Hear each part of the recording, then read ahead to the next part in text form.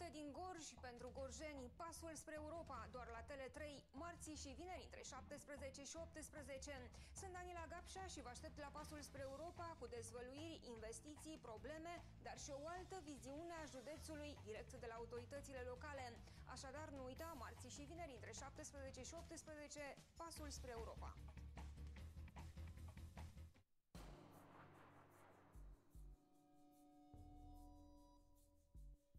Tu ești mulțumit de societatea în care trăiești, ei sunt fericiți în societatea pe care o conduc. Pot să mă și laud puțin, dacă îmi dați voie. Că fac, dar spun din suflet și din inimă. Seara încă o dată, noi ne mai salutăm o dată. Tu plătești taxe și impozite. Căutați-vă în buzunare, acum fiecare.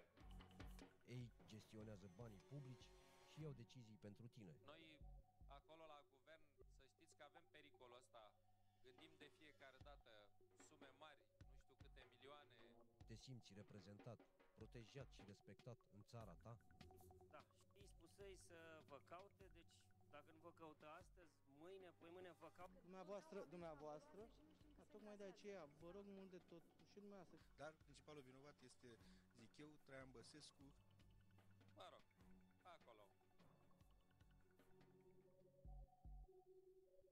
Dilemele zilei cu Irina Stoian.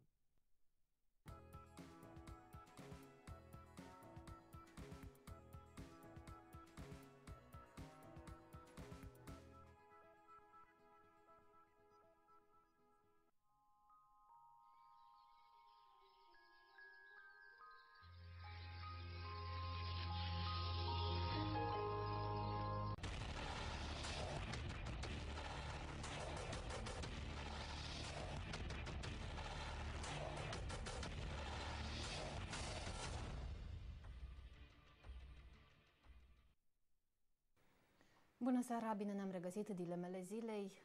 12% la bugetari, 25% la medici și asistenți, alte câteva zeci de procente, probabil pentru cadrele didactice, sunt uh, procentele pe care generosul guvern Ponta 4, 5 sau la ce număr o fi ajuns, le-a acordat și urmează a le acorda în perioada următoare.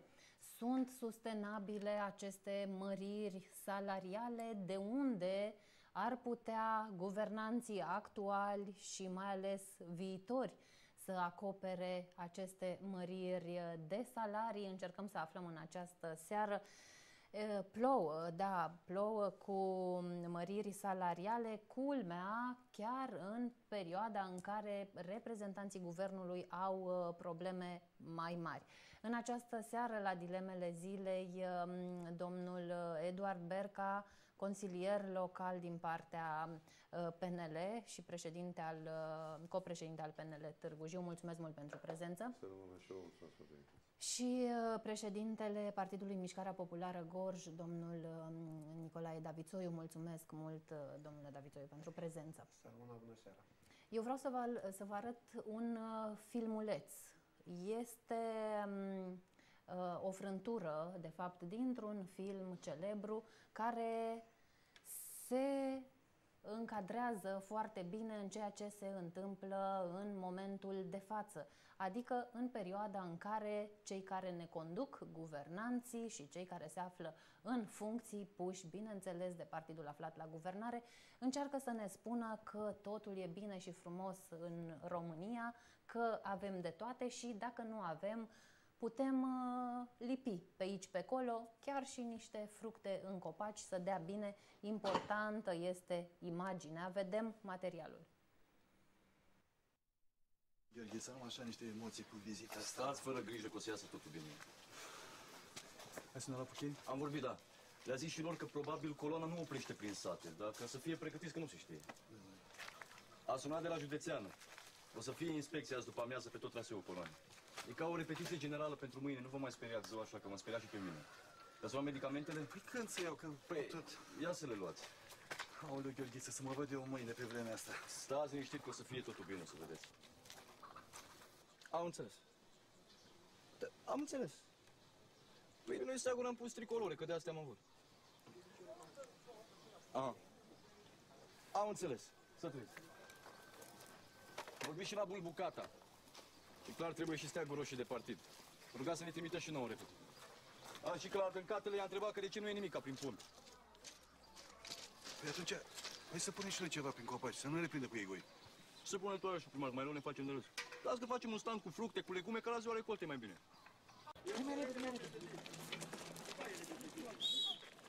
Pune-le sub lată, iar ridică din spate acolo. Așa. Hai mâna, Victor, că ne prinde cu bidineaua în mână. Mai bine o lăsai cum era.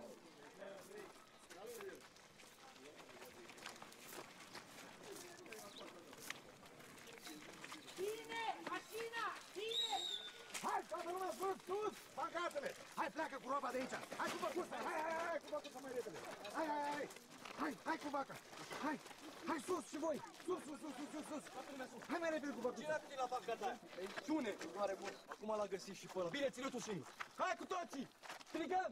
Ura! Ura! Ura! Ura! Ura! Ura! Ura! Ura!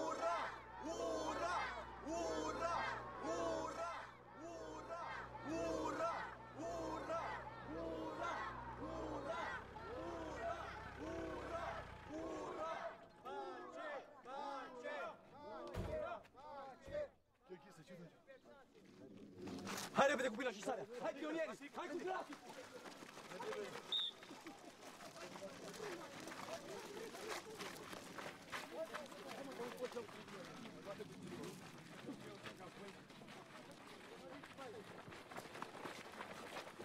Bine ați venit în comuna noastră. Cu vacile astea ce? Ce le-a scos așa în drum? Tot așa la bulbucat am înțeles că au scos animalele în drum și a fost bine. Au scos oi, nu vaci. Delegația cuprinde și oaspeți din India. Deci fără vaci. Am înțeles. Uh, acum le vom. Să ducem și noi, ui. Nu, eu nu prea avem doar și primar, să rămân. Trimitem după ele. Negogu, Ziceți. niște oi. Cu voi ce e, mă? Am zis că dacă cumva oprește coloana să zică și eu poezie. Nu oprește. Dacă oprește. Păi și altul mai clăpău n-ați găsit? E nepotul tău și primar. Știi că e nepotul meu. Eu... Lasică, hai, fugă acasă imediat. Trimite pe sorta la mine. Cu bâlciul ăla de la intrarea din comună ce? Care bâlci? Păi, mâine e ziua comunei și, prin tradiție, în fiecare an noi organizăm un bâlci. Să-l luați de acolo? Sigur, trimite să ia bâlciul. Am făcut rost de niște porumbei. Se aruncă în aer când trece coloana. Nu-s bun ăștia, trebuie albi. Trebuie alb. Deci puteți aduce oi? Facem tot posibil. Da, de toate avem și noi. Uh, Asta vor să ne arate guvernanții. Nu rămâne decât să strigăm ura. Domnule Berca? Da. Um, Ce să zic, um, am citit, de exemplu, foarte curios pentru că am avut uh, o marți și o ședință de comisie în Consiliul Local și am avut la proiecte care au fost supuse dezbaterii, dar fără note de fundamentare și n-am știut uh, practic la ce face referire pre, proiectul respectiv și am citit nota de fundamentare a Guvernului pe ordonanța 27 asta, care mă completează ordonanța 83, care completează, modifică legea 71.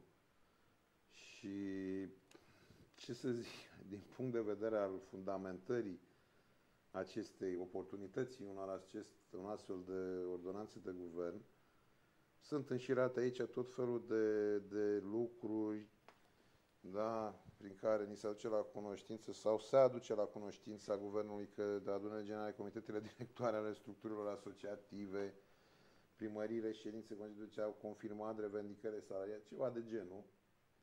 Da, în sensul- Adică dacă oamenii au cerut, uh, noi le dăm. da, exact. Au solicitat cazul în care guvernul poate sprijini o majorare salarială, deci nu poate guvernul. Măcar să ofere posibilitatea acelor autorități de administrație publice locale care nu au un spațiu fiscal financiar, care au un spațiu fiscal să acorde creștere salariale. Da, Dar mai aici, spune ordonanța- aici este, Da. este marele semn de întrebare. De ce? Pentru că, într-adevăr, consiliile locale și consiliile județene pot să aprobe și în perioada imediat următoare, în proximele ședințe, e, aceste unități ale administrației, căs locale că sunt uh, județene, vor avea un astfel de proiect pentru mărirea salariilor angajaților din aparatul așa propriu și din instituțiile din subordine în cazul, uh, în, care, în cazul consiliilor județene și al unor primării. La Consiliul Județean deja s-a votat ieri. 12% în plus la da. salariile celor care lucrează în Consiliul Județean și în instituțiile din subordine. Consiliul Județean a beneficiat de o uh, majorare a bugetului de vreo 700 și ceva de mii de lei.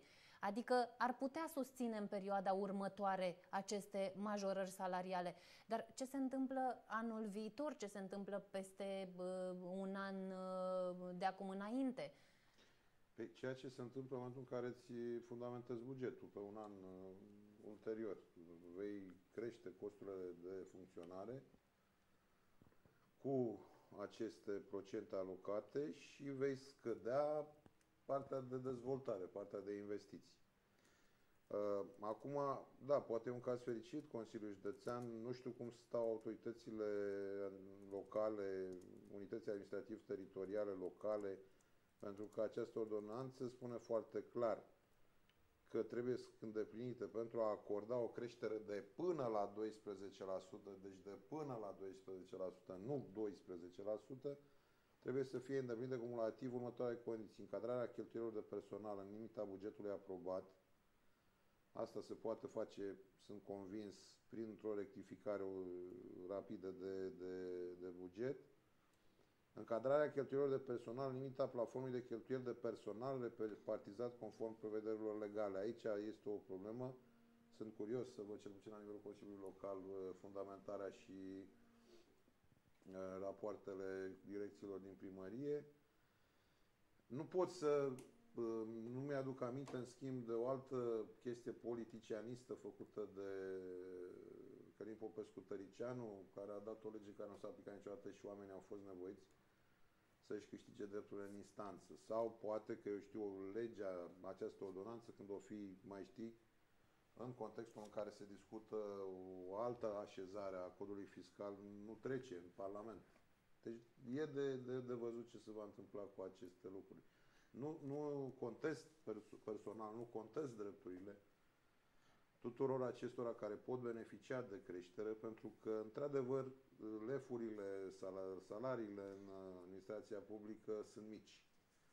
Da, și printre și dacă tot vorbim Bună. de aliniere Dar ideea este la că ceea trebuie... ce înseamnă uh, Europa, da. Europa și europenism, ăsta, da. bineînțeles că și, salariile, și la salarii ar fi trebuit umblat. Dar, domnule Davițoiu, deja spuneam, a început mărirea lefurilor, numai că diferențiat, adică cei din administrație cu 12%, cei din sănătate, am văzut, primesc 25%, au cerut și cei din învățământ 70% la salariu. Cum se face până la urmă această creștere de, de lefuri în România? Cine decide și pe ce, cu ce argumente financiare până la urmă? Că trebuie să fie sustenabile aceste măsuri, aceste majorări. Și în anii următori, nu să le luăm decât uh, ca să ne pregătim campania electorală din 2016.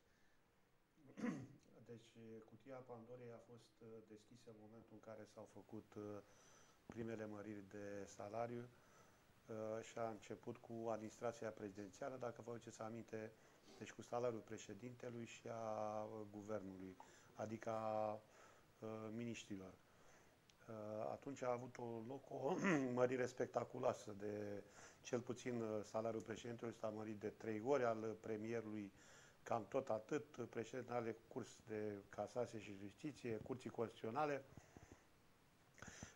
bun, după această mărire a urmat uh, acea mărire cu 70% a uh, salariilor celor care lucrează în administrația prezidențială și în, în cadrul guvernului.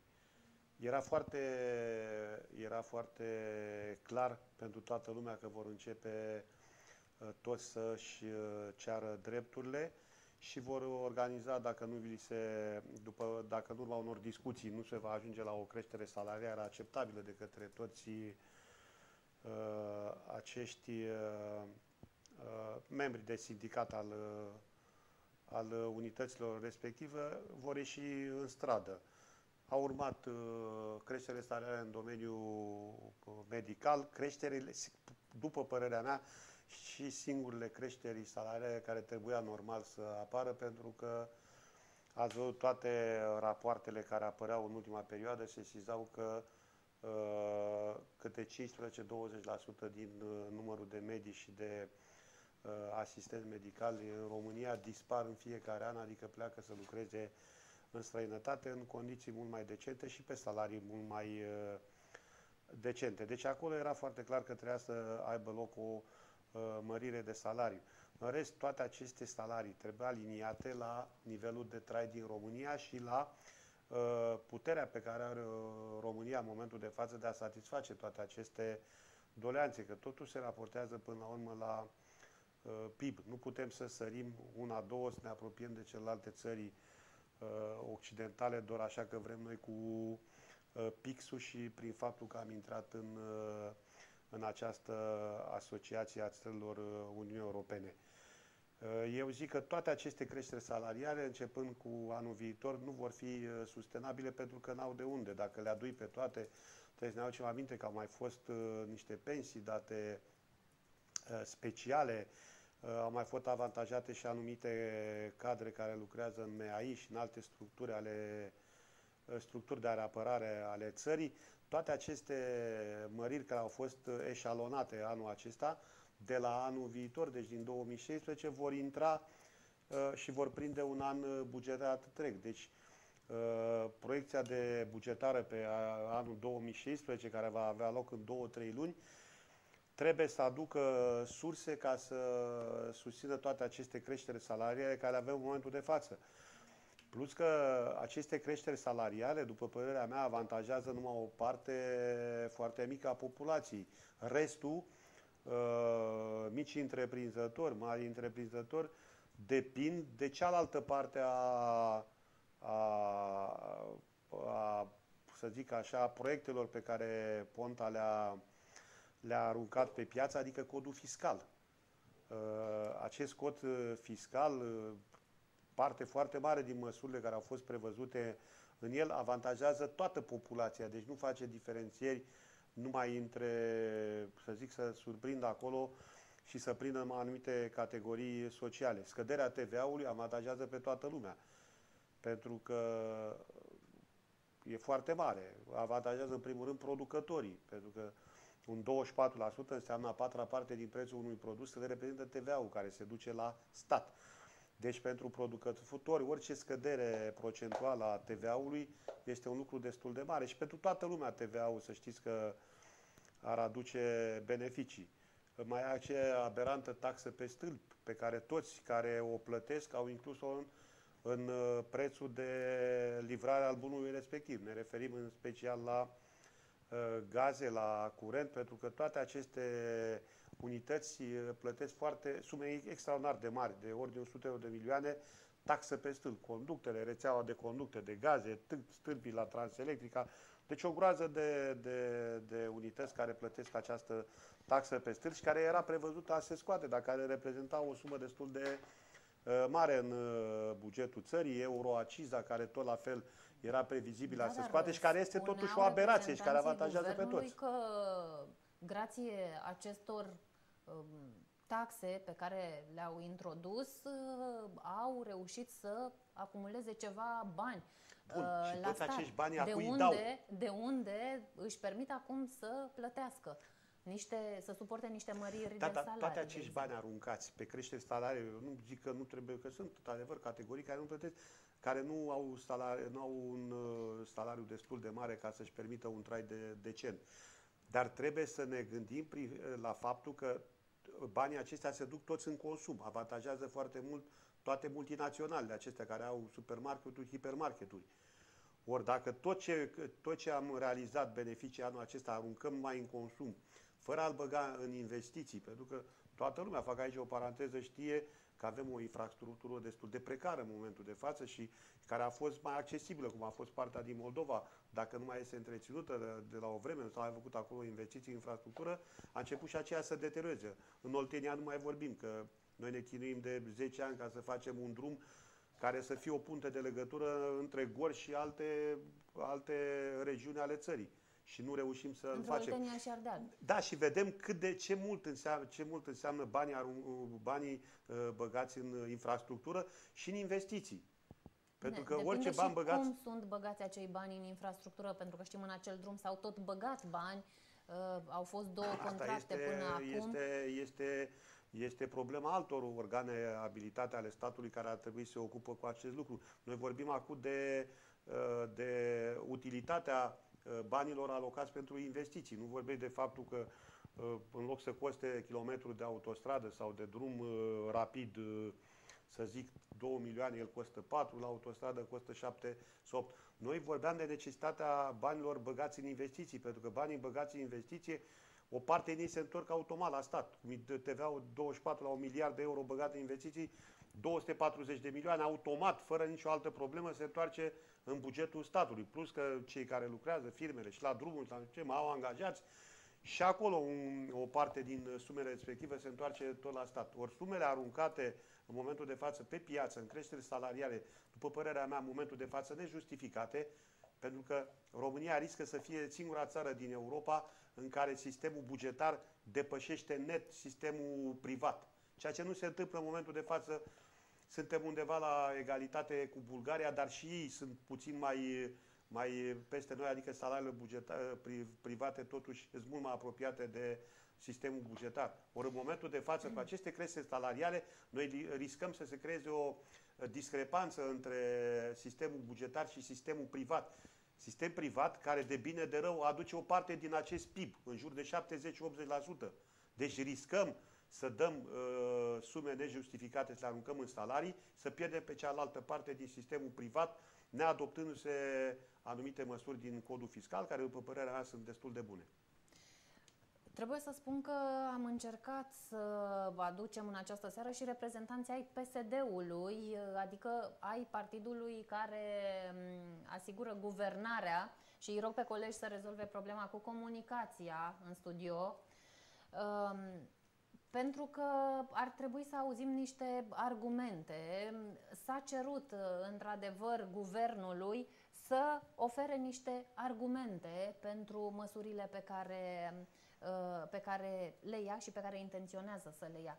Uh, Domnule mm, Berca, ați auzit un argument uh, din partea domnului Ponta sau al, din partea reprezentanților guvernului um, privind sustenabilitatea acestor măsuri? Adică de unde iau banii nu neapărat în următoarele luni, pentru că spuneau ei, au reușit, s-a reușit uh, o mică rezervă, uh, dar de unde se vor lua banii în anii viitori, anul, în anul 2016, în anul 2017 și așa mai departe.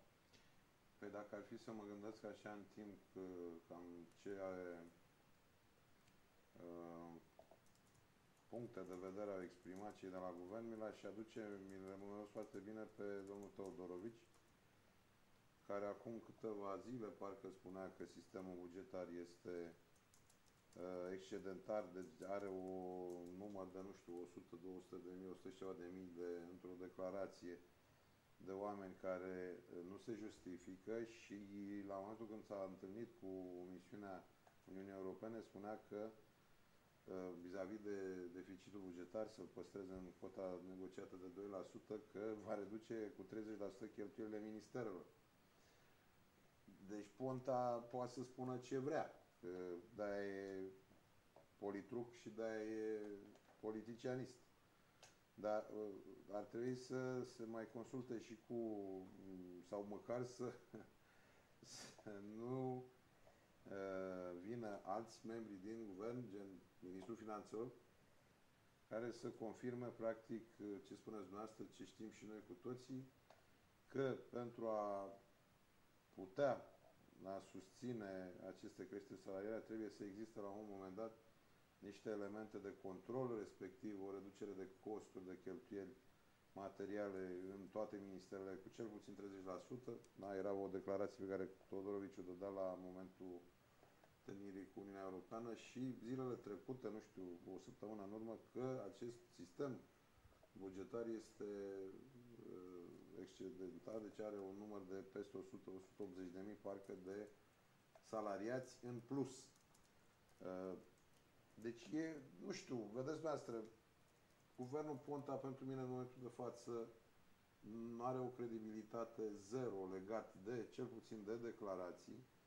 Uh, mă aștept să se întâmple pe modelul Călim Popescu Tăricianu și alegerii mării salariului și pensiilor în 2008 uh, să se uh, ajungă în situația în care fie ordonanța să nu fie promovată prin lege în Parlament susținută, fie să nu existe bani urme de, de aplicare, fie să nu fie aplicată tot de guvernul Ponta și atunci să se ajungă, repet, în situația în care oamenii se ceară drepturile să le câștige în instanță.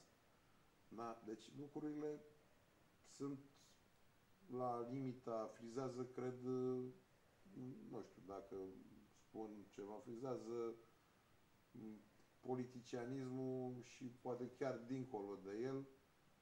Adică atât credeți că au uh, vrut acești oameni să-și atingă niște ținte pur politice? Fără discuție. Pe guvernul Ponta din 2012, Ponta 127, dacă este să ne raportăm strict și ne aducem aminte cu toții la promisiunile electorale da? din 2012, din campania la, la acele sute, mii, milioane de locuri de muncă, acele cele făcute împreună cu PNL-ul. investite în, în, în, în infrastructură, în investiții, așa și așa mai departe, în momentul de față se întorc, eu am, pe mine m-a îngrijorat, de exemplu, o statistică neoficială că munca la negru, practic șomajul la negru a ajuns undeva la 45% în județele limitrofe și poate chiar și în Goj. Deci lucrurile astea, și cum spunea și domnul David Soiu, uh, nu ai cum să consumi dacă nu produci.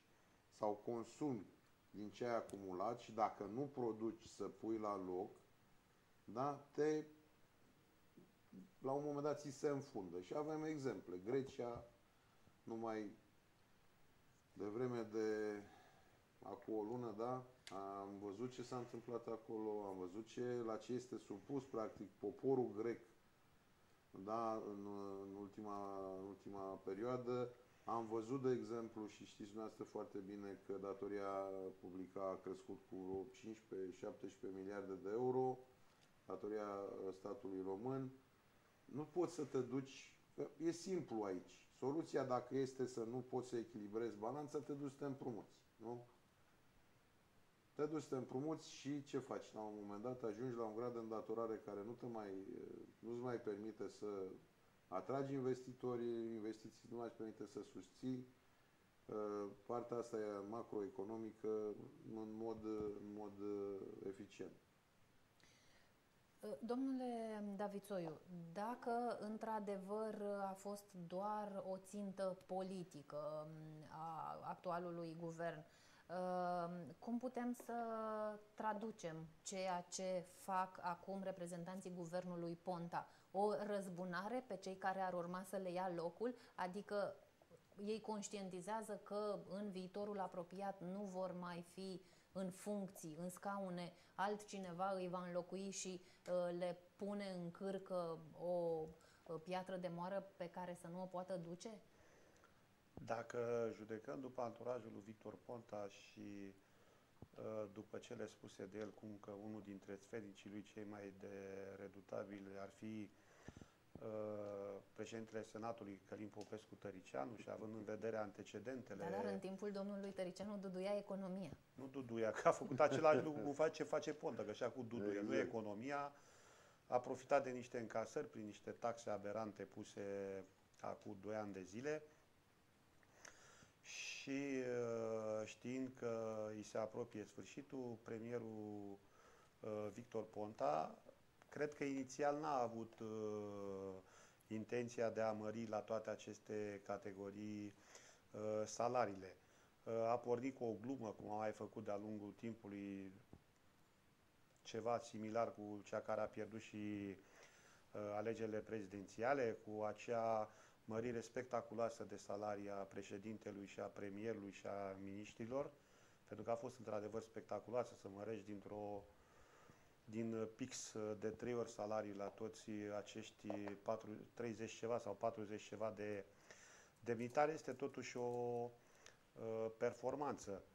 Uh, dar uh, dacă stăm și judecăm mai aprofundat și vedem uh, cum s-a făcut și rectificarea, să știți că ne îndreptăm spre ceva tragic, pentru că uh, degeaba face economii la consumabile, la materiale și la investiții. Ați văzut în spital acum dacă te internezi, uh, trebuie să te duci cu plasa cu uh, medicamente. Ori uh, prin uh, prisma celor declarate de ministrul Teodorovici, cum că toate aceste ministere trebuie să facă pentru anul viitor să-și propună economii de 30%, eu zic că vom asista la lucruri mult mai grave care se vor petrece și în sistemul sanitar și în sistemul de sănătate și în celelalte ministere pe seama acestor reduceri, care sunt și necontrolate, pentru că normal ar trebui să se producă aceste, aceste măriri de salarii după o lege unică a salarizării. Adică, doamne, ești economist la direcția sanitară sau ești economist, dau un exemplu, la ITM sau în altă parte, având aceeași pregătire, aceeași vechime, normal trebuie să iei același salariu. Pentru că dacă mărești nejustificat în domeniul sanitar atât, în domeniul celălalt cu cifre uh, sau cu procente diferite, ajungi iar la discrepanțe foarte mari între aceleași categorii Dar de, de, de ce salariați. credeți adică că s-au stabilit cu ce este aceste mai procente? deștept un economist la direcția sanitară, să zic, care îi se va mări cu 25% salariul decât un economist de la GOFM sau de la alte Sau de la primărie. structuri sau de la primărie, de la altele structuri ale statului. Deci, după părerea mea, trebuia să se dea uh, în Parlament, trebuia să uh, se elaboreze o lege de salarizare uh, unitară.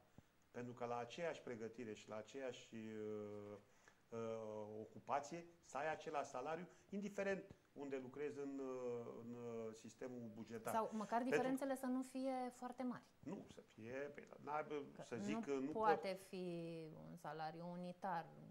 Păi sau asta nu cred înseamnă că o mai lege, poate fi. Păi asta, ar fi o, asta înseamnă o lege uh, a salarizării unitare în domeniul bugetar, pentru că altfel uh, ai de, normal că nu poți să aibă un medic de la spitalul universitar cât un medic de la Târgu Jiu, pentru că asta eu asta am vrut să scot în evidență. Contează și unitatea în care uh, lucrezi și gradul de pregătire. Dar de-aia vă spun, un medic chirurg de la spitalul universitar trebuie să aibă aceeași salariu cu un medic chirurg cu aceeași pregătire de la spitalul uh, universitar sau care este spitalul municipal din Cluj-Napoca, care e totul spital de același grad. Mă refer la spitale de același grad. Asta înseamnă o lege unitară uh, de salarizare. Altfel să știți că nu face nimic. Tot vor rămâne unii cu salariile mai mici și alții cu salariile mai mari și o să caute acele unități în care salariul este mai mare. Iar, uh, v-am spus, principalii pierdanți aici uh, vom fi noi, populația, pentru că toți banii, ei o să aibă bani să bage în uh, salarii. Pentru că ea la investiții, o să ducă investițiile cât mai aproape de zero și o să constatăm foarte curând că România va ajunge în paragină în 3-4 ani, pentru că o țară ajunge rapid în paragină față de o unitate. O unitate, o închis sau mai pui doi Poate votați, vor să ne fac câte păstreze- ceva și ăsta. poate vor Dar să ne știți că o păstreze țară, rustică. în momentul în care nu investești 2-3 Rustici. 2-3 ani la rând în ea, după aceea este foarte greu să o mai redresezi. Pentru că uh, pierderile sunt extraordinar de accentuate. Sunt foarte multe investiții începute. Acele investiții, dacă nu mai sunt continuate, se deteriorează și bași foarte mulți bani ca să le aduci într-un stadiu de finalizare față de, decât dacă ai fi continuat acea investiție. Plus că uh, noi nu mai remarcăm o chestie, în uh, acest vacar cu și Iure și acesta cu măririle de salariu, am uitat de fondurile europene. Noi avem de atras zeci de miliarde în momentul de față până în 2020. Putem păți același lucru care am pățit și în, uh, în perioada trecută, din, uh, din 2007-2013, accent, uh, punând foarte mult accent pe aceste creșteri salariale, am uitat să alocăm bani pentru, pentru partea de cofinanțare la fonduri europene. Uh, Primarii acum uh, au tăbărât și ei pe aceste măriri salariale pentru că sunt dornici ca să mărească salariile la salariu, să spună că au făcut ceva, fără a mai pune accent pe, pe investiții în comunele respective, că și din acest punct de vedere trebuie să o recunoaștem. Noi vrem să intrăm numai cu salariile în Europa. Dar ca să intri în Europa, în primul rând trebuie să ai o structură eficientă, o infrastructură, pardon, uh, uh, uh, eficientă, care include aici, nu include neapărat numai să ai uh, drumuri, autostrăzi sau uh, drumuri rapide, include și aceste, aceste elemente esențiale pentru viața oricărei uh, comune. Să ai canalizare, să ai apă, pentru că totuși sunt foarte multe comune care nu beneficiază de aceste condiții minime de, de, de, de igienă, adică să ai De apă trai, potabilă până la urmă. și, și uh, canalizare acolo unde, unde se poate. Ori această spirală aberantă a creșterii salariilor, pentru că este vorba de creștere salariilor numai la, la, la uh, bugetari. Să știți că îi va duce și pe ei la pierzanie, pentru că o să vedeți, o să apară o spirală acesta pe partea altă inflaționistă. O să fie o masă monetară foarte mare, statul român nu-și mai permite să plătească toate importurile, pentru că majoritatea oamenilor ce vor să cumpere? Vor să cumpere produse de ultimă generație, destul de scumpe, având parte de aceste măriri salariare, aruncă frigiderul la gunoi, bă, și așa, uite, mi-a adăugă 25% la salariu, hai să mai cumpăr un televizor, un alt asta. Și aceasta este o, o, o povară pentru statul român. Pentru că aceste lucruri uh, duc la scoaterea valutei din țară, să duce în altă parte. Și s-ar putea să avem parte și de o, și un uh, deficit mai mare decât cel prognozat. Și tot acest deficit are dreptate și două berca. De unde la cope? Din împrumuturi externe. Împ, uh, ai foarte mari împrumuturi externe, te Păi, trezești că dobânda sare de la 2-3% sare la 5%. Teodorovici, Domnul uh, ministru era de acord cu un nou împrumut la un moment dat. Domnule Berca, uh, în funcție de ce anume credeți că s-au uh, stabilit procentele pentru uh, măririle salariale? Pentru că, spuneam, este o diferență foarte mare, cel puțin în momentul de față, în, acolo unde deja s-au uh, aplicat sau acolo unde deja s-au hotărât procentele cu care să fie majorate uh, Nimic nu lefurile. indică în spațiu public vreo, ex- vreo motiv al uneia sau alteia din creștere. Nimic. Deci sunt aleatorii, eu știu acum cum s-o fi dus care, cum s-o fi dus să dea cu pumnul în masă mai tare, nu, nu știu. Sau cu Deci, banul. sau Poate cu s-a banul, dat cu banul exact. și s-a stabilit Deci atâta uh, vreme procentul. cât, uh, repet, o astfel, deci o notă de fundamentare poate să arate în felul ăsta, deci pentru ordonanța 27, credeți-mă, eu mă îndoiesc că oamenii ăștia mai sunt sănătoși. Da? Deci eu mă îndoiesc că oamenii ăștia mai sunt sănătoși. O notă de fundamentare pe uh, de modificare a ordonanței 83, care modifică legea 71 și așa mai departe. Deci credeți-mă, e în două pagini și cu citate, cu chestii de-astea de uh, beletristică, de, deci eu nu știu cine face notele de fundamentare în acest guvern. Dacă este trecută și sursa, e bine. Să nu mai fie acuzați din nou de nu, este de pe plagiat. site-ul guvernului, l-am luat. Nu, Da? nota de fundamentare. A, nota de fundamentare. Dacă nu, are eu o și să vă las. subsol, dacă are o, și subsol. O să vă rog dacă ne putem să... Bă, cine a făcut nota asta acolo?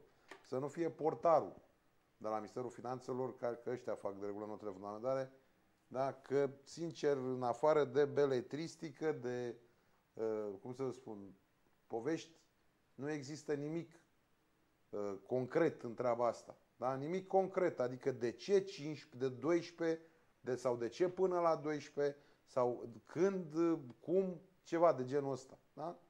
Deci o notă de fundamentare pe o chestie de genul ăsta care, într-adevăr, grevează practic bugetul uh, României cu sume însemnate, dar nu știu. Deci eu repet, Nici, nici nu s-a vorbit până acum de niște majorări uh, la uh, diversele categorii uh, și să se fi spus uh, cum urmează a se face aceste majorări. Puteau fi făcute și în etape, bineînțeles. Fără că la un discuție, moment dat da. a apărut această Pe, variantă. repet, exact ce spuneți dumneavoastră, ar fi trebuit să fie înscris în nota de fundamentare pentru promovarea proiectului de ordonanță de urgență într-un astfel de mod, pe etape, cu surse, cu pu- posibilități de, eu știu, până la 12% puteau să o defalce strict pe anumite categorii, ca să ajungem la ce spunea domnul David Soiu, să se identifice anumite categorii care în momentul de față sunt mai prost plătite, să se aplice acolo, mai puțin în altă parte. Deci este o fo- două foi de fapt însăilate care au făcut, au convins membrii guvernului prin decizia probabil a domnului Victor Viorel Ponta să voteze o ordonanță de urgență care promovează o creștere la nivelul unităților teritoriale, discut aici. Da, nu o știu să vedem, celelalte cum o arată. să vedem și efectele Nu, dar nici nu acestor se decizii. modifică nici o țară normală la cap, nu se modifică salariile prin ordonanță de urgență, pentru că toate aceste ordonanțe de urgență normal intră în vigoare, dar abrogă alte legi. Deci se creează Da. un, Absolut, un haos un haos. legislativ. Păi asta nu e- mai știi ce lege aplica, care exemplu, mai e în exact. vigoare, ce, ce te să mai duce, ce mai ăsta. Salariile, creșterea salariilor la medici nu este la unitară cu 25%. Este între 12 și Exact, 25%. exact, exact. Salariile Da. mai mari cresc Da. cu 12%, cele mici cu Pe 25%. ordonanța asta 27, Altă prostie care mo- duce la egalizarea salariilor. Păi ce Da. faci aici? Încep să egalizezi salariile. Normal că tot timpul o să fie nemulțumiți. Adică ăla care e profesor universitar și operează, ce faci? Îi crești cu 12% și îi crești cu alălalt ca să ajungă să ia același salariu cu el. De aceea v-am spus eu, trebuie, trebuia totuși să, ca să elimine acest haos. Să vedeți că o să fie haos până la urmă și în ministere, că trebuie să apară și niște norme de aplicare, că nu se poate uh, să fie decât uh, ce a, ci- ce a citit uite. aici Edi, uh, porcăria aceasta. Asta de e că notă de Nici nu fundamentă. poți să spui cum mărești după, după această notă de fundament. Deci nu o să- Dacă Salariile e cu trebuie să aibă citate. o... Nu, salariile trebuie să, ca să le poți mări, ca să poată să fie aplicabilă, trebuie să apară niște norme de, de aplicare cu care să spună explicit cum se aplică, la care, cum se dă. Da. Probabil urmează, urmează să Ce apară pică și după aceea, că acele la alții, norme. da, te trezești, depinde la ce se aplică procentul acesta, la salariul net, la brut, la ce n-ai să o aplica. Deci nu cred că trebuie totul făcut uh, pe fugă și prin ordonanțe de urgență. Ele ar trebui să fie uh, făcute calculat și discutate în Parlament și uh, date, și dat o lege. Pentru că pățim iar ca în 2008 s-au dat tot felul de ordonanțe de urgență cu măriri care după aceea n-au fost aplicabile. Pentru că n-aveai de Exact. unde să dai. Da. Când a început să construiască bugetul și au văzut ce sume s-au adunat cu toate mările salariale, a constatat că le mai trebuie un buget. Așa se va întâmpla și în momentul de față. Acum depinde ce se va aplica, cum va trece și codul, fina, uh, codul fiscal, în ce formă uh, va Aici trece. trebuie Că să ne avem putem legi, trezi cu un... uh, legi în Parlament de aplicarea ordor ne putem de trezi cu niște susținere a taxe ordonanței. De începem să plângem după, după Da. mările salariale. Dacă se încep să dubleze taxele pe proprietate, pe orice, o să vedeți că uh, guvernul găsește, găsește soluții rapid, tot prin ordonanțe de urgență, ne trezim de anul nou cu surprize fantastice, când începem să plătim taxele pe anul fiscal 2016. Uh, Domnule Berca, primele, m, primele um, rezultate ale acestor uh, majorări când credeți că le Imediat. vom, uh, le vom Imediat, vedea? Că deja s-au promovat uh, proiecte de hotărâri pe consiliile locale, județene. Și, Și urmările a, urmările. și urmările lor? Păi, uh, Urmările spuneam, lor- depinde de la unitatea administrativă Urmările la alta, lor în acum cazul, depind, uh, sau primăriilor și urmările, consiliilor. efectele O să acestor- vedem pentru cadrele didactice, Da. acolo încă nu s-a dat un răspuns. O să vedem în momentul în care se, va, se vor apuca, gu- guvernul se va apuca cu oamenii de specialitate, ăștia care fac note de fundamentare în felul ăsta, să uh, facă proiectul de buget pentru 2016. Da, deci în momentul în care se vor apuca să facă proiectul și vor vedea ce sume vor fi necesare a fi alocate în plus pentru astfel de a, vom vedea și în mod sigur, în mod sigur vom ajunge la ceea ce spunea uh, domnul David Soiu, că nefiind bugetate în momentul de față, iar fondurile care sunt într-adevăr excedentare pe uh, la momentul ăsta datorită nealocării uh, în dezvoltare, în investiții, se termină. Dar nu ai cum să, să speri că ce s-a economisit, să zic, din, repet, din nealocarea investițiilor necesare ca apa da, în infrastructura României, dând aceste majorări, vor rezista cine știe cât, 3, 4, 5, 6 luni de zile. Și atunci, trecând în anul 2016 cu un alt exercițiu, cu un alt uh, efort uh, fiscal pe, uh, ziceți, pe mm, buget, vom vedea și taxă pe uh, fân și probabil și taxă pe fum. Asta credeți Sunt că foarte, taxe multe, pe- da, sunt foarte întâmpla. multe administrații Noi taxe- locale care abia își plătea salariile până acum. Evident. Ori de Dar această remita notă aia. de fundamentare rezultă foarte clar că uh, administrațiile, unitățile administrativ-teritoriale trebuie să-și asigure sigure Evident, uh, evident. uh, sumele Evident, necesare. da. Vă dau un exemplu. La municipiul Târgu Jiu. Și așa nu se face ce au făcut ei, ce au aprobat la început, nu se face, nu s-a făcut niciodată, Niciodată.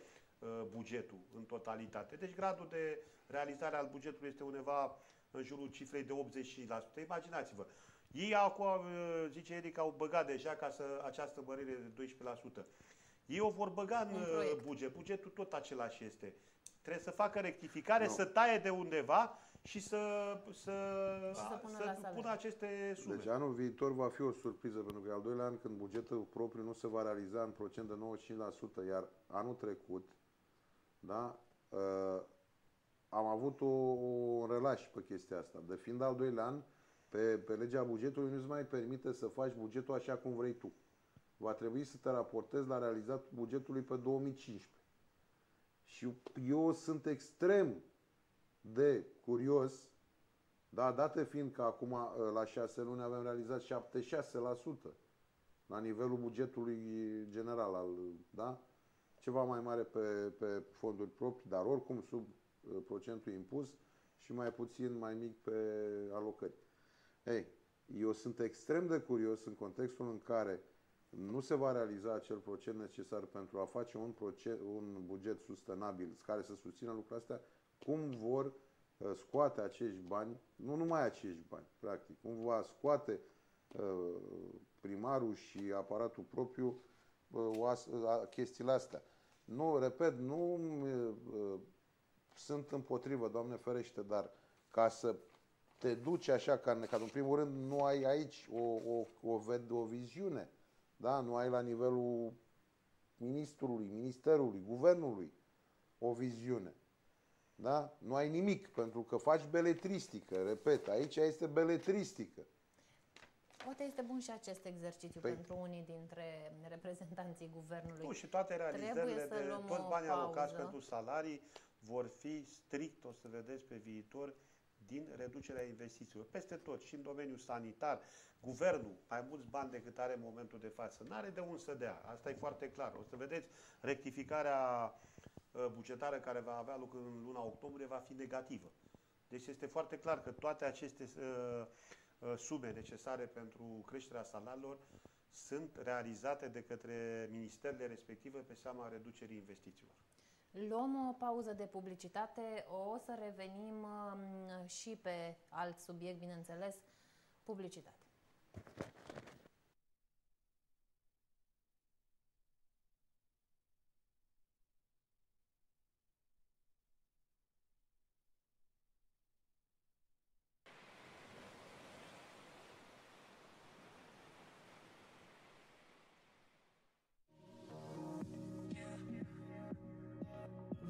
Asta, distracția ultra all-inclusiv se numește Ana Summer Events. Pofta de răcoare este răsplătită cu o atmosferă pe măsura gusturilor tale, apă, nisip, palmieri și multă muzică bună. De siguranța, răsfățul, confortul și satisfacția clienților se ocupă personalul nostru calificat.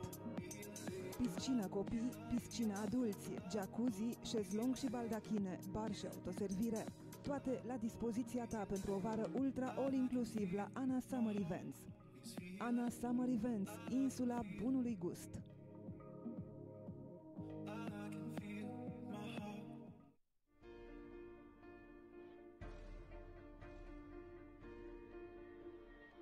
Școala este etapa de care depinde cariera ta. Universitatea Constantin Brâncuș se ocupă de viitorul tău profesional. Alege una din facultățile noastre. Facultatea de Inginerie, Facultatea de Științe Economice și Gestiunea Afacerilor, Facultatea de Relații Internaționale, Drept și Științe Administrative, Facultatea de Științe Medicale și Comportamentale, programe de masterat la toate facultățile universității. Colegiul Universității Constantin Brâncuș scoate la concurs locuri pentru diverse calificări profesionale.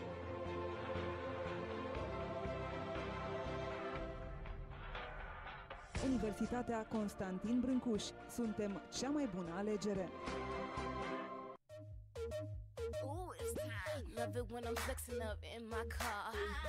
Vrei să atragi toate privirile și să fii mereu admirată? Alege salon Mina Alex și vei fi mulțumită de felul în care vei arăta. Coafură, manicură, pedicură și cosmetică la prețuri accesibile. Pentru noi este important să pleci cu zâmbetul pe buze din salonul nostru de înfrumusețare, de aceea folosim produse profesionale pentru rezultate garantate. Salon Mina Alex, la intrarea pe strada 14 octombrie, numărul 25B, pe partea stângă. Vizitează-ne și îți promitem că vei fi admirată.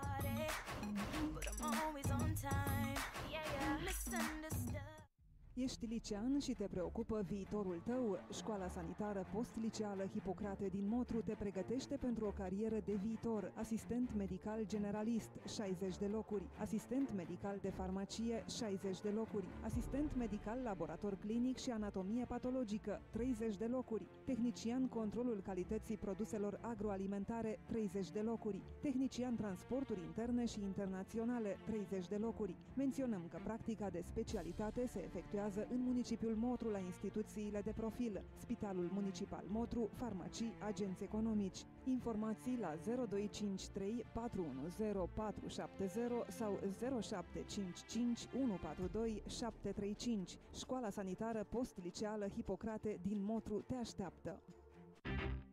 Raico, dealer autorizat Husqvarna, anunță mare reduceri în campania de primăvară 2015. Până pe 30 iunie nu ratați pachetele promoționale la prețuri avantajoase. La toată gama de moto-unelte se oferă diverse gratuități, iar la Motoferăstraie primiți cadou 3 sau 5 litri de ulei pentru lanț. Vizitați magazinele din Târgu Jiu, Novaci, Târgu Cărbunești, Motru, Turceni și Padeș. Găsiți o gamă variată de motoferăstraie, moto-unelte, tractoare și mașini de tuns gazonul, pompe de apă și generatoare Verdina, coase manuale Fuchs Austria, precum și produse din gama Black Decker și Devalt. Raico, dealer autorizat Husqvarna, Târgu Jiu, strada Victoriei 112 10, telefon 0253 210 736. E al naiba de greu să fim cei mai buni. Orice om visează la o casă, orice constructor visează la un singur loc de unde să-și procure materialele de construcții și oricine știe că acest loc este Dinacom. Găsiți toate tipurile de materiale de construcții, vopsele, parchet, rigips, plăci ceramice, gresie, faianță și adezivă, obiecte sanitare, mobilier de băi, căzi și cabine de duș, instalații sanitare și electrice. Dinacom este unic distribuitor de gresie și faianță produsă de Cesarom, membru al grupului Lasselsberger și are exclusivitate pe importul de gresie și faianță din Spania, Italia, Cehia și Polonia. Reducere 15% la lichidările de stoc Cesarom și Spania. Vizitați magazinele din Târgu Jiu, situate pe strada Mihail Sadoveanu numărul 1 și Calea București 190 24, telefon 0744 513 816. Construiți și finisați rapid și ieftin cu Dinacom. Amplasat într-un cadru natural în mijlocul parcului central, restaurantul Doina Gorjului are oricând porțile deschise pentru tine și familia ta. La localul nostru, ospitalitatea românească te întâmpină de la intrare. La noi găsești mâncărurile tradiționale românești, Gustul bunătăților de la mama de acasă îl găsești la restaurantul Doina Gorjului. Noi vă facem toate poftele, de la bucatele oltenești la pizza pe vatră și salatele văratice. În zilele caniculare te desfătăm cu minunata înghețată cu arome naturale. Petrece cele mai frumoase clipe la Hotel Sara, un loc cum nu e altul în Gorj te așteaptă să te relaxezi indiferent dacă vii pentru întâlniri de afaceri, tratament cu ape termale, masaj, saună sau petrecerea timpului liber. La Hotel Sara vă bucurați de tot confortul și toată ospitalitatea unei gazde deosebite. De asemenea, locul este alegerea perfectă pentru evenimente ca nunți, botezuri, aniversări sau petreceri private. Hotel Sara Țicleni, primitor ca întotdeauna. Universitatea Liberă Internațională din Moldova, prin Centrul de Consultanță, Orientare și Selecție pentru Studii, la ULIM, oferă cele mai mici taxe de studii, facultate 350 euro pe an, masterat modul pedagogic 400 euro pe an. Pentru membrii familiei înscriși la ULIM, taxele se reduc până la 100%. Înscrieri prin selecție de dosare la studii de licență, masterat, doctorat la următoarele facultăți acreditate, cursuri învățământ la distanță în perioada 1 iulie-1 octombrie, psihologie și asistență socială, științe economice, drept, relații internaționale și istorie, informatică și inginerie. ULIM primește prin transfer studenți de la alte facultăți autorizate și acreditate în condițiile legii. Centrul de consultanță, orientare și selecție pentru studii la ULIM. Târgu Jiu, strada Eroilor, numărul 6, telefon 0253 214 019. Vrei să-ți deschizi un restaurant, un cafe-bar sau o rețea de catering? GM Proficuip îți ușurează munca. Alege echipamente profesionale, ambalaje, mobilier și multe alte produse pentru dotare și funcționare. Frigidere verticale, mese de lucru, chiuvete, hote, aparate de gogoși, vate de zahăr sau popcorn, dozatoare de suc, mașini de înghețată sau plite de clătite. Noi și second hand la magazinul situat în Târgu Jiu pe strada termocentralei numărul 39 în zona fostului CET. Se asigură service și piese de schimb. În plus, vă puteți aproviziona cu diverse materii prime pentru produse de cofetărie și patiserie, dar și ambalaje pentru preparate în sistem catering. GM Proficuip, soluția rapidă pentru dotări profesionale de restaurante, hoteluri, cafe-baruri și catering. Într-un paradis natural, popasul Jaleșul te așteaptă în atmosfera de bazma satului gorjenesc. În Arcani, pe malul Jaleșului, popasul nostru este locul ideal pentru relaxare și distracție unde să vii cu familia și prietenii. La noi găsești mâncarea tradițională românească. Gustul și aromele îmbietoare sunt completate de un ambient rustic.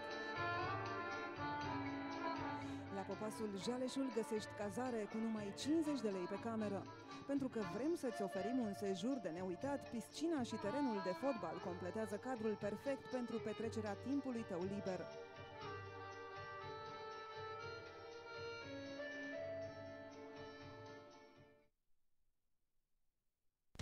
SC Autosion Serv execută în mod profesionist lucrări de înlocuire parbrize, lunete și geamuri laterale, reparații fisuri produse de lovituri de pietre. SC Autosion Serv aduce la comandă orice tip de parbriz, geam lateral sau lunetă. Executăm poliș profesional de faruri și stopuri. SC Autosion Serv vulcanizare pentru camioane și autoturisme.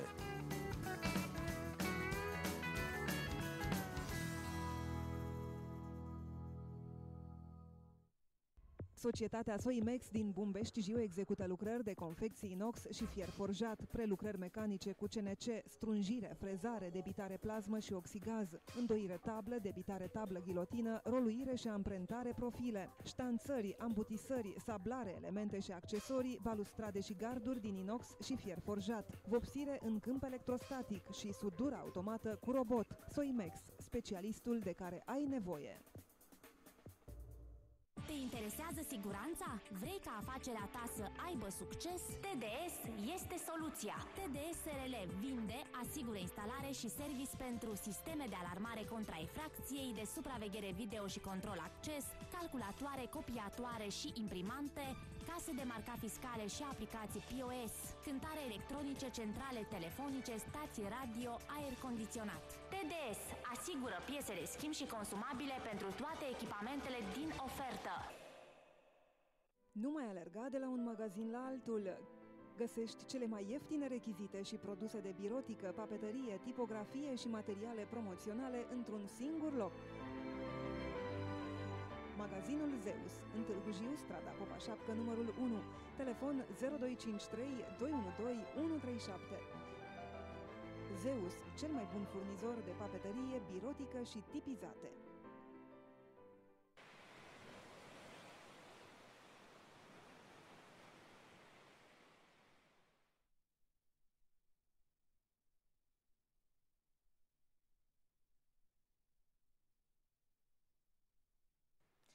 Am revenit, uh, a plecat uh, domnul uh, Eduard Berca, decât pe prima parte a putut rămâne. Este în continuare în studioul dilemelor zilei domnul Nicolae Davițăiu, președintele PMP Gorj. Um, vreau să discutăm puțin despre ceea ce se întâmplă în aceste zile la complexul energetic Oltenia, nu de probleme, pentru că acelea ar fi trebuit rezolvate de mult și am văzut că nimeni nu se obosește să ia uh, nu neapărat măsuri, dar nici măcar atitudine.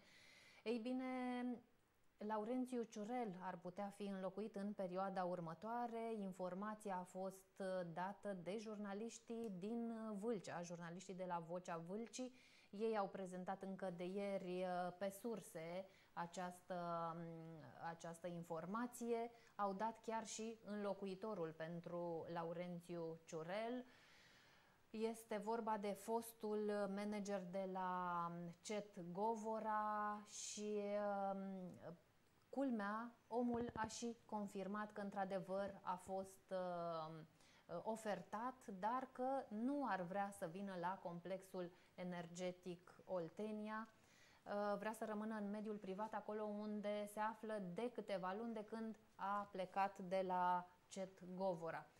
Uh, Mihai Bălan este, este numele lui. Domnule Davițoiu, cum vedeți această informație, iată, confirmată de uh, Mihai Bălan, adică exact cel care ar fi trebuit să ia locul lui Laurențiu Ciurel la șefia complexului Oltenia. Asta după ce luni în șir domnii de la PSD care îl susțin um, au spus că la CEO nu este absolut nicio problemă.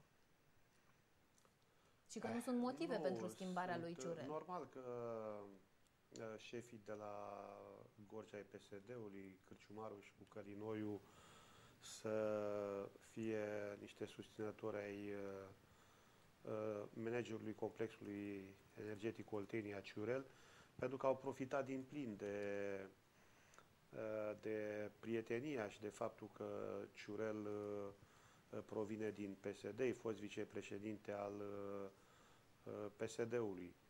Ar fi un lucru de dorit și cred că se și impune în momentul de față schimbarea managerului Ciurel, pentru că s-a văzut că în fruntea complexului energetic, Ciurel a avut uh, rezultate foarte proaste. În uh, cei aproape trei ani de când uh, conduce acest gigant energetic al României. Probabil este și o pălărie foarte mare pentru el, a fost copleșit și de uh, intervențiile politice, foarte multe, mai ales pentru uh, angajării uh, politice, pentru uh, licitații cu dedicație pentru anumite firme, pentru anumite persoane, de foarte multe ori din anturajul uh, PSD-ului, bani dați foarte mulți la presă, tot la fel uh, după criteriul apartenenței la doctrina PSD-istă și cred că totuși liderii de la centru ai PSD-ului se vor debarasa de Uh, managerul Ciurel, pentru că în momentul de față reprezintă un uh, balast și pentru organizația județeană a PSD-ului, care se pregătește la anul pentru alegerile locale și alegerile uh, parlamentare și pentru cei de aici din din județul Gorj, adică pentru și Cărinoiu și... Cine sau cine uh, îl mătură pe Ciurel din sistem? Păi, după, dacă se adeveresc dezvăluirile făcute de către uh, un anumit uh, ziarist, normal premierul Pont ar vrea să scape de uh, Ciurel pentru că l-a turnat, uh, după cum indică toate sursele, pe acesta la DNA și cred că așa s-a și întâmplat pentru că altfel nu văd uh, de ce ar putut să uh, beneficieze de o anumită protecție din partea DNA-ului, pentru că știm că toți uh, cei care au și-au turnat, au turnat pe alții colaboratori au scăpat prin uh, legea, care, legea penală care a intrat în vigoare de uh, anul trecut, au scăpat uh, batma curată dacă au reușit să uh, își toarne uh, colaboratorii sau cei cu care au făcut uh, afaceri și au, probabil ăla a fost și primul care a început să-i uh, toarne pe cei care au vrut să-i dea bani. Eu cred că a turnat numai o mică parte din ei, ceilalți care l-au umplut de bani uh, și care a fost uh, avantajos pentru el, uh, au uitat de, de ei. Și eu sunt convins că Ciurel va fi schimbat într-un viitor apropiat, care va fi acela, n-aș putea să-l precizez, dar v-am spus de ce, pentru că în momentul de față el reprezintă un balast pentru, uh, pentru PSD, reprezintă un balast și pentru complexul energetic Oltenia și pentru salariați, pentru că după trei ani de mandat uh, Ciurel, uh, complexul energetic este cu punga goală, utilajele de prin cariere sunt distruse în proporție foarte mare, investiții foarte mici, reparații capitale sau curente, cred că n-au mai văzut utilajele din cariere de foarte mulți ani. Ați văzut, salariații se plâng că n-au materiale de strictă necesitate pentru intervențiile pe care le-ar putea face la, la diversele uh, incidente care apar sau uh, reparații care necesită uh, materiale pentru a fi uh, rezolvate. Uh, eu zic că el acum a beneficiat de o perioadă favorabilă, două, trei luni, cât a fost această uh, secetă, cât n-a plouat. În momentul de față lucrurile s-au rezolvat, s-au redresat. S-a văzut că energia verde nu este un concurent viabil pentru termocentralele pe cărbune, pentru că ele pot produce oricând și uh, sunt necesare de acum colo. Dar uh, managementul prost pe care l-a uh, practicat Ciurel a adus la această, la această situație în care este ce în momentul de față, pentru că el s-a ocupat să se răzbune pe anumită, pe anumită parte a salariaților, să facă anumite sindicate care să fie pro-administrație, în loc să se ocupe de problemele adevărate ale complexului energetic, de un lobby pe lângă parlamentarii de gorși, că sunt destul de numeroși, uh, și pe lângă premierul Ponta să creeze cadrul legislativ necesar pentru uh, ca CEO să-și desfășoare activitatea în bune condiții, uh, referitor și la acele despăgubiri pe care ar trebui să le dea cetățenilor afectați de, de extinderea carierelor, plus câteva, câteva, să zic așa, proiecte legislative care să limiteze din, din certificatele care se atribuie producătorilor de energie verde. Și mi se pare normal ca orice țară să ne protejăm energia și meritul pentru că sunt domenii strategice, de ele depinde securitatea energetică a țării și am văzut că poate să mai existe perioade cum a existat anul acesta această setă prelungită de două, trei luni de zile, când aceste termocentrale și-au dovedit din plin eficiența și mai ales utilitatea. utilitatea.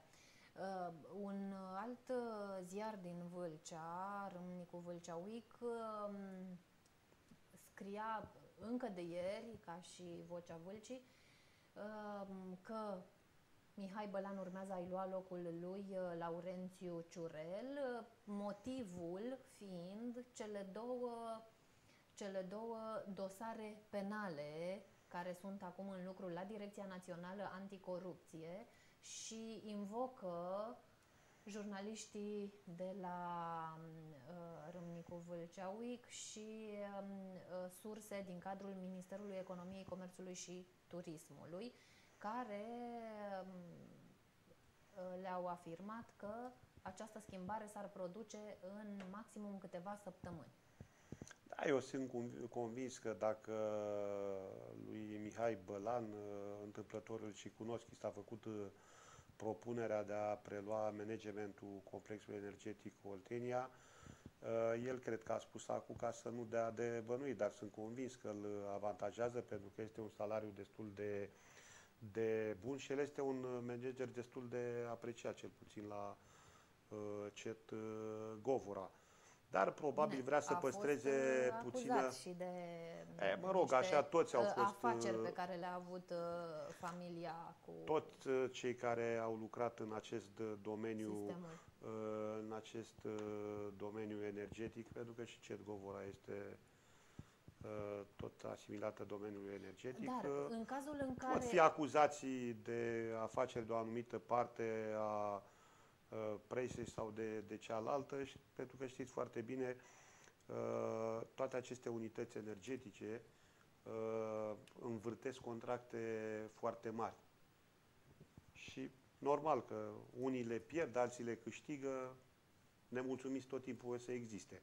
Eu n-am zis că este Mihai Bălan mai curat decât... Bine, este posibil ca Mihai Bălan, într-adevăr, și o să vedem imediat imagini și cu domnul în cauză, să fi refuzat propunerea. Asta nu înseamnă că nu mai sunt și alți potențiali manageri în țară, adică oameni care să se priceapă la acest domeniu. Dar important, importantă este următoarea chestiune. Cei care l-au susținut pe Laurențiu Ciurel, adică domnii din PSD, am văzut că astăzi nu au putut să infirme acest zvon. Dacă într-adevăr premierul Victor Ponta ar fi cel care vrea să scape de Laurențiu Ciurel din fruntea complexului Oltenia, credeți dumneavoastră că Ion Călinoiu, de exemplu, care este și amicul lui Laurențiu Ciurel, pentru că a fost surprins de nenumărate ori în vizită privată, în vizite private acasă la la managerul de la complexul Oltenia, ar putea să-l mai susțină? La ce caracter are președintele Consiliului Județean Călinoiu? Dacă îi se cere de la București, poate foarte ușor să, să renunțe și chiar să susțină schimbarea... Adică să se spele pe mâini de ciuret. Bineînțeles, s-a folosit de el cât a avut nevoie și poate imediat să, să renunțe și să spună că cei care insistă cu schimbarea sunt de la București. Dar aici ar mai putea fi și altă variantă. Ați văzut, actualul președinte interimar al PSD-ului a pornit la nivel de întreaga țară și pe diferite paliere o schimbare a tuturor celor care au fost apropiați ai lui Victor Ponta. Ați văzut că și prin Parlament se prefigurează niște schimbări în, între cei care l-au susținut pe Victor Ponta. S-ar putea și aici să fie aceeași problemă, pentru că totuși complexul energetic Oltenia este un gigant.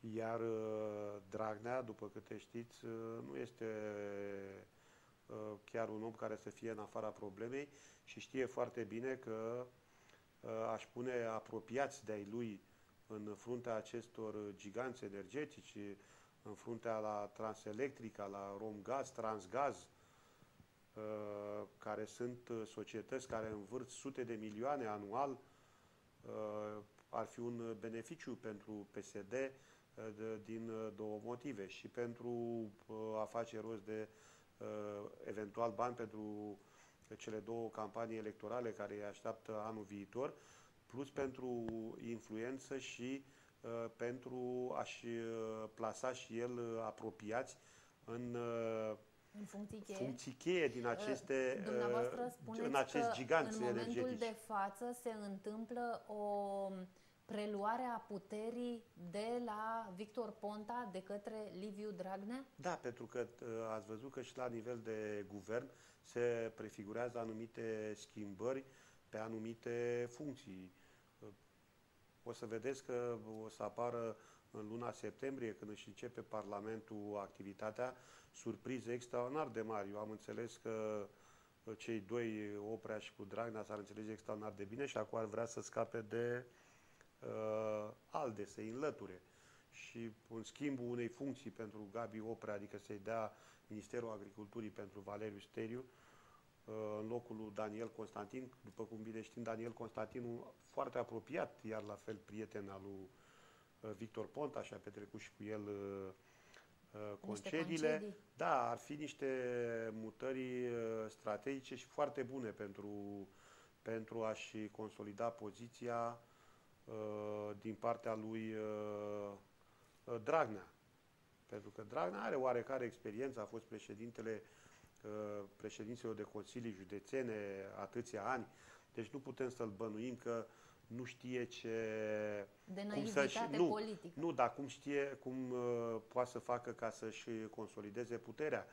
Ca te duce în fruntea unui partid extraordinar de puternic, cum este PSD-ul, și doar a fi președinte, fără Dar a te în criză, implica, în momentul de fără a față. te implica în, uh, în, uh, în epurarea și a-ți uh, plasa oamenii uh, tăi fideli și apropiați în funcțiile cheie și ai mulțumi uh, prin uh, plasarea în funcțiile cheie în aceste, în aceste uh, societăți gigant, pentru că trebuie să ne imaginăm că toate aceste societăți au consilii de supraveghere, au AGA, adunarea acționarilor, consilii de administrație. Toate aceste societăți mari pe care le-am uh, enumerat eu, plus uh, o groază de agenții, peste 50-60 de agenții, a face parte în aceste consilii de administrație sau consilii de supraveghere sau AGA înseamnă un, uh, uh, un venit uh, net lunar de peste 3-4 mii de euro. Ori, uh, oricât ai fi de naiv și a, așa ai zice că nu vrei să te bagi, dar totuși este tentant uh, a-ți plasa prieteni în aceste funcții. Și în momentul de față știm cu toții că aceste consilii de administrație, consilii de supraveghere și AGA, toate sunt uh, populate de apropiați ai premierului uh, Victor Ponta. Ori Practic sunt înlocuiți uh, oamenii Corect, lui oamenii Ponta lui Victor cu Ponta oamenii cu lui oamenii Dragnea, lui Dragnea și lucrul cel mai pregnant se vede și la nivel național. Deși peste tot uh, clamează că este un apropiat al uh, că Victor Ponta este prietenul lui, pe partea cealaltă ați văzut cum i-a admonestat foarte dur uh, miniștrii, începând cu ministrul finanțelor, cu Teodor spunând foarte clar că mandatul din partea PSD-ului trebuie respectat, indiferent ce mandat are din partea premierului. Când au fost acele negocieri pe uh, codul fiscal. Deci din aceste mici incidente ne dăm seama cât de ascuțită este lupta la nivelul vârfului PSD-ului la București, adică uh, disputa între Cele actualul două tabere. președinte interimar Dragnea și uh, premierul uh, Ponta, care s-a văzut uh, lipsit de cea mai uh, importantă armă a lui, adică uh, partidul. Pentru că fără partid, degeaba ești uh, premier, pentru că trebuie să, să asculți de ordine primite de la partid. Ați văzut și cu uh, discuțiile pe codul fiscal și cu întâlnirile de la Cotroceni, deci toate s-au făcut în ultima perioadă sub directa îndrumare a președintelui interimar uh, uh, Dragnea.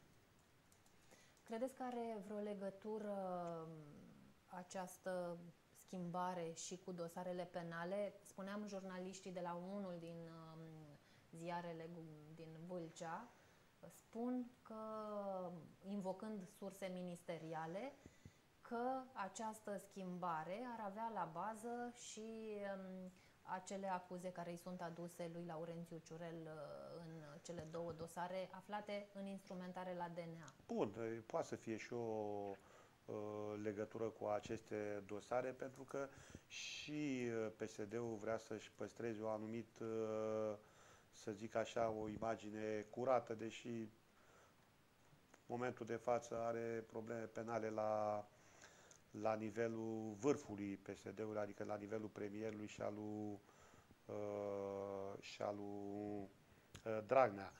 Dar uh, normal că nu poți să ții un, uh, un uh, director cu un manager mai ales ca să-i spui manager privat, pentru că este și o presiune uh, din exterior, pentru că toate aceste uh, societăți comerciale, care sunt cu capital majoritar de stat, sunt monitorizate foarte atent de către de către Uniunea Europeană și de către Fondul Monetar Internațional și s-ar putea să fie o intervenție și în această, din această parte. Da, v-am spus, după părerea mea, este el dacă dispare, va dispărea pe această filieră ale, a luptei pentru putere dintre Dragnea și, și Ponta.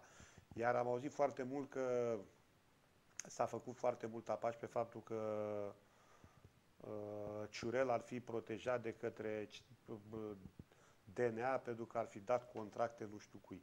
Hai să facem o altă paralelă cu uh, Dinu Pescariu, care tot la fel a fost protejat din, uh, de către DNA prin prisma faptului că a fost turnător. I-a turnat pe ailalți și prin prisma acestui lucru el a scăpat. Așa este legea.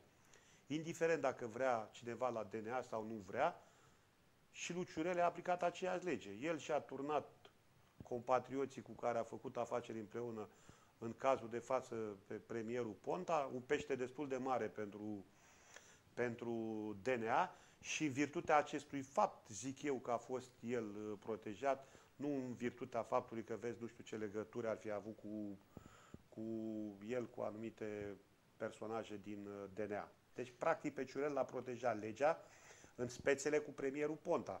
Dar în cazul celălalt cu bă, contractul de cărbune cu sârbii, acolo eu cred că el n-am avea ce denunț să facă și este foarte clar că uh, cred că acel dosar atârnă mai greu de, de gâtul lui decât dosarul celălalt cu uh, cazul Șova, unde v-am spus, fiind denunțător, a beneficiat de prevederile legii. Vreau să mai atingem un subiect înainte de a încheia ediția din această seară. Noi am prezentat informația pe surse ieri în cadrul um, ediției uh, Dilemelor Zilei. Um, fostul președinte Traian Băsescu este așteptat în Gorj în luna septembrie, luna viitoare. Um, este o informație pe care o puteți confirma? Da, undeva la mijlocul lunii septembrie Uh, președintele Băsescu va fi prezent în municipiul nostru la o întâlnire zonală a tuturor organizațiilor din uh, Oltenia care va, se va ține la Târgu Jiu și uh, chiar președintele Băsescu și-a manifestat intenția de a veni și a fi prezent în fieful lui Ponta, având de ales ca întâlnire pe, zonală pentru județele din Oltenia, între Olt, uh, Dolj și uh, Gorj și a ales, uh, bineînțeles, Gorjul, cu precizarea că vrea să vadă care mai este pulsul în, în fieful premierului Ponta, un adversar declarat de altfel al, de al președintelui Băsescu. Așa că undeva la mijlocul lunii Uh, cu siguranță președintele Băsescu va fi prezent în municipiul Târgu Jiu. Vă mulțumesc mult! Aceasta a fost ediția din această seară. Ne revedem mâine la aceeași oră, la Dilemele Zilei. Până atunci, rămâneți totuși alături de Tele3. În câteva momente, jurnalul serii cu colega noastră Emma Puiu. Numai bine!